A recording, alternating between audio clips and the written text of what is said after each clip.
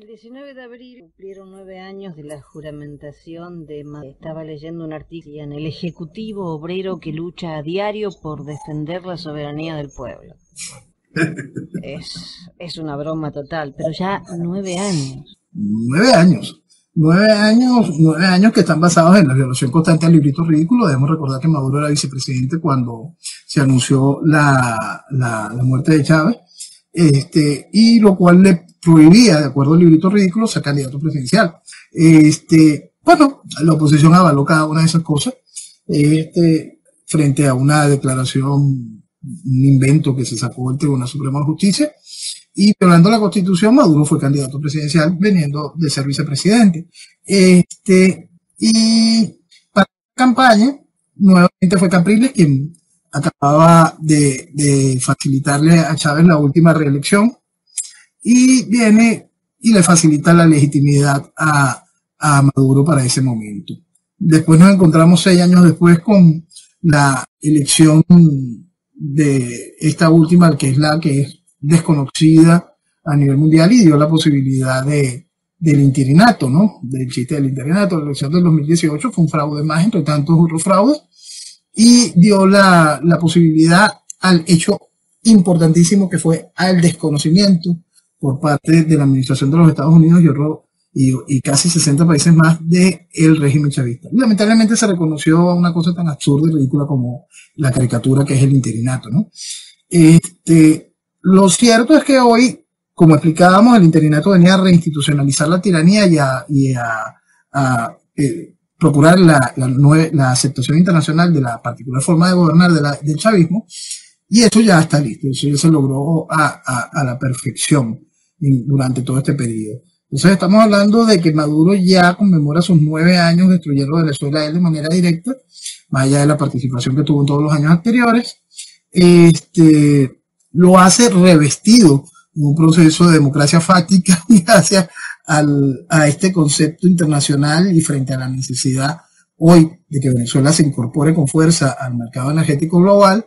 Es decir, son nueve años en quizá en unas condiciones de solidez política que Chávez nunca tuvo. Es increíble porque nosotros tenemos que sumar la realidad de que en aquel momento había un país, había una fuerza opositora general, este, bien sea asquerosamente manejada y manejada para ser destruida por parte de la dirigencia opositora, pero había un sentimiento de país muy claro en el que había que ponerle fin al chavismo ese sentimiento era manipulado constantemente por, por esa, esa estructura opositora que decía tú no quieres libertad, tú lo que quieres es pollito y papel toalé.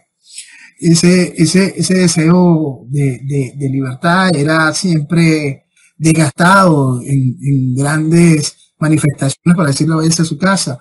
Ese sentimiento de libertad era manipulado para que la gente democráticamente vistiese voto a voto de legalidad lo que estaba sucediendo, de legitimidad a todo el proceso de destrucción de Venezuela. Ok, eso existía en aquel entonces. En aquel entonces también existía algo de nuestra Fuerza Armada con posibilidades de generar por ella misma, de, de manera directa, la salida de esta situación. Pero cada uno de estos movimientos cometían el error de vincularse a las estructuras políticas tradicionales, las cuales participaban en la tradición constante declarada por ellos mismos.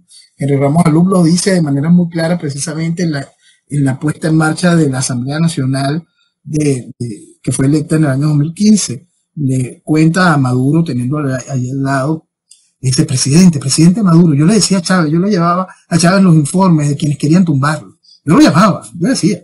Y la gente aplaudía. Mi país responsable aplaudía. Entonces, esas son las realidades de lo que estamos viviendo en estos nueve años de Maduro. Hoy tiene una solidez política en cuanto al control del país tan grande que estimulan con muchísima fuerza los rumores de la discusión interna para que de algún lado la gente pueda creer que existe algo de debilidad en la estructura de gobierno.